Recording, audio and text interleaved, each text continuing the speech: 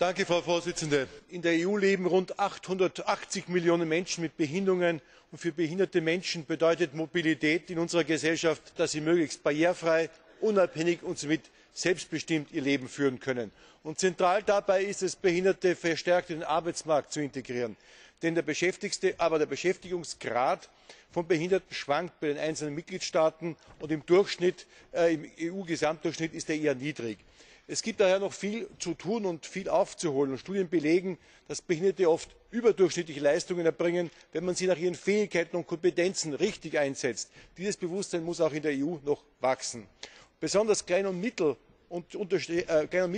Unternehmen kommt bei der Beschäftigung von Behinderten eine zentrale Rolle zu.